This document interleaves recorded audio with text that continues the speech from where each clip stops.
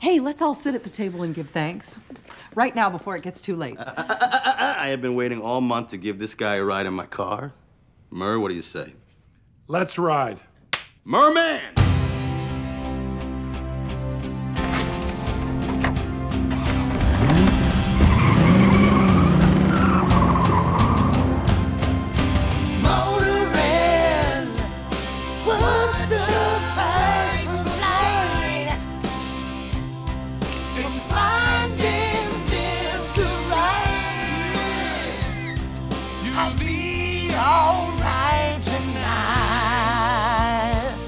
Do not understand that song.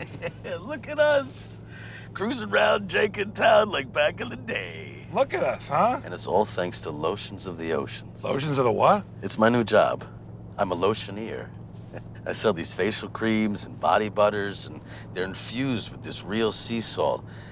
Beautiful thing, Murr. You take a dab of this stuff, you put it on your face, and your skin becomes so smooth and soft. Well, whatever it is, good for you.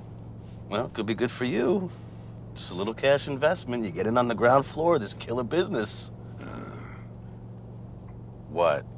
Just this time you made it sound like it was going to be different. It is different. Marvin, I so want to support you, but you make it so hard. You don't believe me?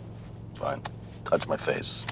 What? Stop being so judgy for five seconds and touch my face, and then you will understand how smooth and delightful my skin is. Touch it. I don't want to touch your face. Touch my face. I don't even touch my wife's face. Touch my face. It's like I'm all man except for this one tiny spot. I'm not touching your face. It's like a little baby's earlobe. You're out of your mind. That's it. Pull over. What? Remove yourself from the cockpit of my car.